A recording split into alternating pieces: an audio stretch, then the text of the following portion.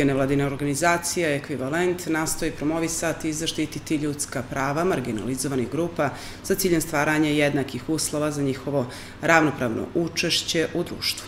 Posvećeni su promociji ravnopravnosti, solidarnosti, građanskog aktivizma, razvoju socijalnog i odgovornog turizma, socijalnog preduzetništva i ruralnih područja i zaštititi život, zaštiti životne sredine. Tim povodom sa nama u studiju Anđela Miličić. Anđela, dobro jutro i dobro nam došli. Dobro jutro, hvala vam na pozivu i pozdrav gledalacima televiziji Nikšića. U ja ovoj najavi dosta toga rekao, ali, da, da. ali ćete vi svakako dopuniti da čujemo za početak nešto više o ciljevima organizacije. Pa, organizacija je osnovana 2016. godine Ovaj, kao što ste i pomenuli, ovaj, mi smo organizacija koja se bavi zastupanjem prava marginalizovanih grupa. U prvom redu osoba s invaliditetom i posvećeni smo prije svega e, znači, aktivnostima koje se temelje znači, na ravnopravnosti, solidarnosti, znači, bavimo se promocijom ljudskih prava, e, tako da smo kao e, organizacija orientisani znači, ka različitim tim aktivnostima koji će e, doprinijeti poštovanju ljudskih prava osoba s invaliditetom prije svega e, tako da je naš rad e, baziran kroz više programa. To su program ljudske prava, program servisa podrške, zatim znači razvoj socijalnog turizma, socijalnog preduzetništva, zašta životne sredine, volonterizam i također društveno odgovorno poslovanje. Jasno. Kroz koje aktivnosti nastojite realizovati pomenuti pa, Ono što bih htjela ključno znači da istaknem jeste prvenstveno da smo od ovog pomenuta, kao što sam kazala, mi se bavimo, odnosno promovišemo i radimo na razvoju e, tog e, turizma za osobe s invaliditetom. E, iako smatramo znači, da je naravno i više puta je to promovisano kroz i sama društvena javnost je imala priliku da čuje da je Crna Gora znači veoma razvijena turistička destinacija, ali kada govorimo o turizmu kao jednoj od oblasti koja se bavi nevladina organizacija Ekvivalent, mi smo prije svega ovaj, želimo da razvijemo taj pristupačan turizam za osobe s invaliditetom. U tom smislu želim da kažem znači da smo mi kroz prethodne neke aktivnosti ovaj razvili prije svega i mapirali različite lokalitete znači za osobe s invaliditetom različite turističke neke znači elemente različite različite znači te lokacije ta, također i hotele i turističke neke ovaj lokalitete znači kako bi prikupili informacije da vidimo u kojoj mjeri su oni pristupačni za osobe s invaliditetom. Jer ono što je ključno jeste prije svega da Crna Gora kao društvo, kao država, mi nemamo e, prije svega ni registar osoba s invaliditetom. Pa onda samim tim nemamo ni ove postojeće informacije. Dakle, nemamo prije svega ni informaciju koliko je osoba s invaliditetom u Crnoj Gori, a onda samim tim, znači, nedostaju nam neke određene informacije kao što sam e, pomenula iz ove oblasti. Dakle, mi smo radili, znači, radimo i dalje na razvoju, znači, različitih e, informacija, znači u kojoj mjeri su pristupačni hoteli za osobe s invaliditetom, u kojoj mjeri su pristupačne različiti znači, turističke te uh, ponude, ponude destina, destinacije, hoteli, to neki određeni znači, lokali, kako bi se prikupili informacije da se vidi u kojoj mjeri su pristupačni za osobe s invaliditetom i koliko su oni dostupni osobama s invaliditetom. I kako je stanje, Anđela? Pa, ono što je ključno, jeste da svi ti objekti koji su u javnoj upotrebi, pa i ove koje sam pomenula, oni moraju biti pristupačni osobama s invaliditetom ali po toj zakonska obaveza još iz 2008. godine. Svi objekti koji su javnoj upotrebi moraju biti pristupačni osobama s invaliditetom. Međutim, situacija uh, nije baš na zadovoljavajućem znači, nivou, jer se negdje dešava i dalje ti objekti, znači, odnosno hoteli, oni u dovoljnoj mjeri ne ispunjavaju standarde pristupačnosti kako bi trebali uh, da, uh, da posjeduju da imaju kada govorimo o poštovanju ljudskih prava osoba s invaliditetom. A ono što su ključne neke stvari i mi upravo radimo sada na tom i prikupljamo i dalje te informacije I kada prekupimo te informacije, mi ćemo to uh, ovaj objaviti u određenoj studiji, a zatim radimo na razvoju aplikacije znači koja će biti namijenjena za Android i iOS telefone, znači i tu će se prosto, uh, znači sve ove potrebne informacije koje sam ja pomenula i uh, radimo na razvoju turističkih aranžmana za osobe sa, uh, e, sa invaliditetom i oni će biti znači, dostupni uh, za osobe s invaliditetom jer negdje uh, smatramo, kako sam i na početku rekla, uh, da prosto ovaj, iako je Crna Gora znači turistička eh, eh, znači zemlja, ona nije dovoljno primčiva za osobe s invaliditetom. Mi nemamo, kao što sam rekla, ove potrebne informacije i negdje se ne smatra da su osobe s invaliditetom konzumenti te turističke ponude i onoga što nudi Cena Gora kao država u dovoljnoj mjeri. Znači tu ste izopšteni, da kažem. Pa, tako, na neki način, da. Na, mladih sa hendikepom Crne Gore i mnogih drugih koji podržavaju i trude se da osobama s invaliditetom olakšaju život na razne načine,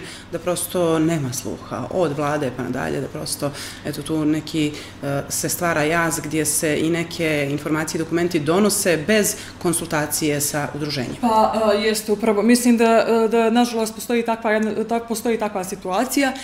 Ono što je ključno jeste da mi rukovodimo se i bavimo se time, znači da ono što postoji u zakonskoj regulativu da se poštuje.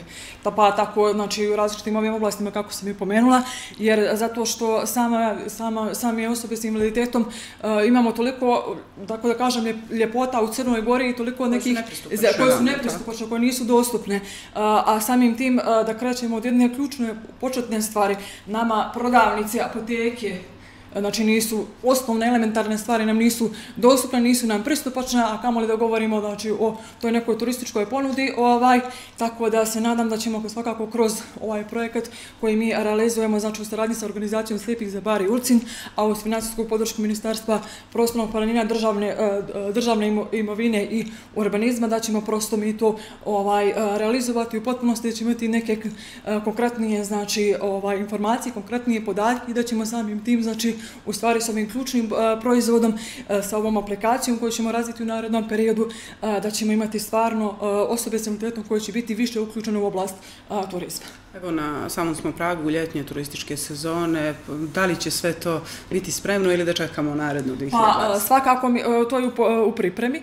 Znači, radimo na tome. Ja sad ne mogu, nažalost, da vam kažem kada će to tačno biti, jer uopšte to ne zavisi ni konkretno od nas, nego više aktera je tu uključeno u realizaciji uh, ove aplikacije, tako da moram vam reći kako uh, ide to uopšte nije jednostavna stvar. Znači, želimo da izađemo konkretno sa nekim konkretnim proizvodom i sa uh, potpunim informacijama da znamo šta je tač, šta tačno uh, posjeduje Crnog Goru, koliko je pristupačno, koliko nije pristupačno. Zatim, ako govorimo o nekom određenom hotelu, onda smo išli prosto uh, da dođemo do informacijama da li je taj hotel pristupačan osobama s invaliditetom, u kojoj mjeri je pristupačan, da li su sadržaji koje posjeduje hotel pristupačni osobama s invaliditetom. Dakle, hoću da vam kažem da su zaista to, išli smo do nekih najsitnijih detalja. Jasno. Da li se oslanjate na podršku nadležnih institucija i organizacija? Rekli ste da računate na ministarstvo, računate na uh, organizacije sa primorje, podršku, prosto, znači ima tu sradnje. Pa e, imamo što se tiče konkretno, mislim, nadležnog ministarstva, e, ovaj, iako smatram kada, da, kada govorimo o poštovanju ljudskih prava osoba s invaliditetom i napređenju položaja osoba s invaliditetom, to moraju biti uključeni više različitih znači, restora, više e, ministarstva, to ne može da se tiče samo konkretno ovaj ministarstva ljudskih i manjinskih prava, iako ste to negdje najviše, aj tako da kažem, i očekuje zato što govorimo o poštovanju ljudskih prava osoba s, osoba s invaliditetom. Konkretno kada govorimo o ministarstvu ljudskih i manjinskih prava, mi, mi jesmo uključeni ovaj, kroz različite neke aktivnosti. Uh, mi smo dio, uh, radili smo, odnosno postali smo različite aktivnosti kada se tiče akcijnog e, plana za praćene strategije za promociju jednakosti osoba s invaliditetom, što se tiče i prethodnih godina, tako i ove i naredne godine, što se tiče također uključenosti, to jest uh, finansijski nam je odobren uh, projekat Festival ljudskih prava koji je podržan od strane uh, ovo pomenutog ministarstva. Ono što je ključno jeste da smo taj festival e, promovirsali nedavno, odnosno održali ovaj u Podgorici, ali on će biti održan znači i u e, Baru i u Bilom polju, tako da ovaj festival podrazumijeva znači izvođenje e, predstave. Akteri te predstave su osobe sa invaliditetom i gdje se želi ukazati znači sa kakvim preprekama se susreću osobe sa invaliditetom. Dakle, iz oblasti znači obrazovanja, zapošljavanja, kada su u pitanju porodični odnosi, kada su u pitanju partnerski odnosi. Eh, eh, predstava se izvodi u režiji eh, ovaj Minje Novaković, a naziv predstave opet neki invalidi. Malo je nekog karakterističnog, tako da kažem, naziva, ali ovo upravo mi želimo sa tim da kažemo, znači, u, kao što sam i rekla na početku, da ukažemo sa kakvim preprekama se susreću osobe sa invaliditetom, jer negdje u svakodnevnom govoru E, mi smo željeli, odnosno čujemo više puta da, e, da se osobe s invaliditetom opet nešto traže, opet nešto oni hoće, ili opet sa druge strane kažu, a opet dajte tim invalidima, ali ono upravo ukazuje taj, e, na upotrebu nekorektne terminologije. Jer često u svakodnevnom govoru mi čujemo različite termine poput e, invalidi, hendikepirani, posebne potrebe, ali evo iskoristit ću priliku da kažem da je jedina pravilni termin koji se koristi i sa kojim na neki način da budem ovako malo prostija u govor da kažem mi dalje kuborimo, znači jeste upotreba termina osobe s invaliditetom. To je termin koji se koristi skladu sa konvencijom jedinih nacija o pravima osoba s invaliditetom, a hoću da kažem da je odatle u stvari i potekla u ova naziv ove predstave, dakle, znači, o izvođenju ove predstave će biti uskoro ovaj, na Cetinju takođe, znači, pored e, uh, bilo polja bare, i na Cetinju, znači, uh, pa ćemo da, ovaj, kroz neki naredni period biće i ova dva preostala uh, grada, osim te predstave, znači, planirano izvođenje nekih e, različitih e, numera, također i e, prikazivanje izložbe, da bi se upravo prikazalo sa kojim preprekama se sutreću osobe sa invaliditetom. Ta izložba podrazumijeva znači, različiti set fotografije koje su neformalno nastale prilikom kretanja osoba sa invaliditetom. Upravo s ovog aspekta, kao što sam vam prethodno pokazala, to su, znači, gdje se pokazuje da osobe sa invaliditetom, znači, one prosto ne mogu da pristupe javnim ustanovama.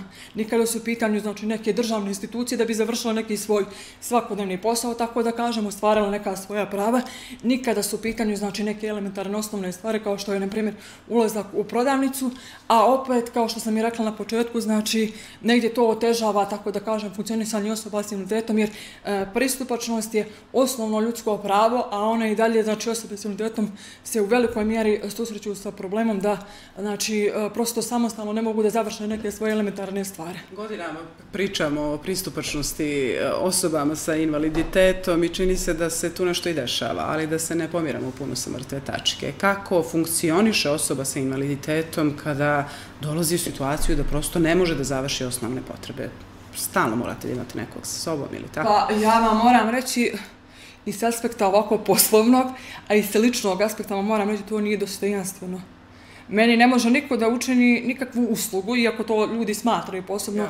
Ja ne, kva, ne krivim, tako da kažem, E, nekog državnog službenika ili službenicu u nekoj instituciji, ukoliko ona dođe i kaže e, spuštit ću ti se, ja, ja sam imala to ovaj, situaciju na birovu rada ovdje u, ovaj, u Nikšiću. Doći da ti pomognem i napravit ću ti time uslugu, ja? E, spuštit ću ti se, nemoj ti ništa da se sikiraš, nemoj ti ništa da brineš.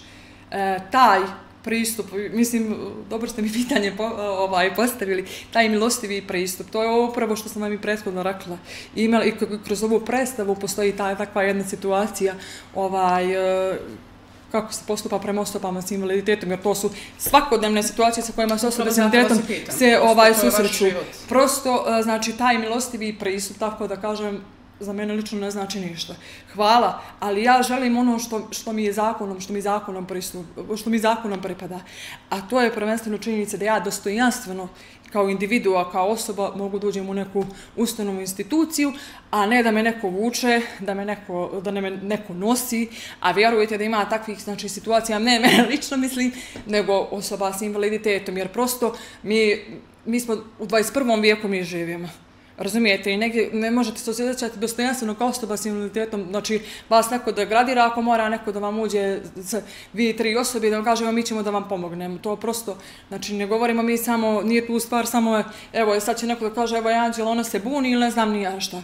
Postoji nešto što je, znači, što je zakonom propisano, a mi nažalost u našem društvu imamo situaciju, znači da sve to tamo lipo piše ali se ne premjenjuje i baš što dobro rekli, evo ja kroz svoj znači, aktivizam godinama sam u nevladinom sektoru i bavim se zastupanjem prava osoba s invaliditetom i negdje nažalost imam situaciju, mislim imam takav osjećaj da, da, e, da pričamo, pričamo u stvari negdje da se, e, ne mogu reći da se ništa ne mijenja, minja se, ali jako teško. Ali sa druge strane, znači, mora, moramo da budemo svjesni jedne uh, činjenice. Znači, neke sitnice koje se drugim osobama bez invaliditeta čine kao sitnici, kao nebitne. Nama kao osobama s invaliditetom su jako bitne.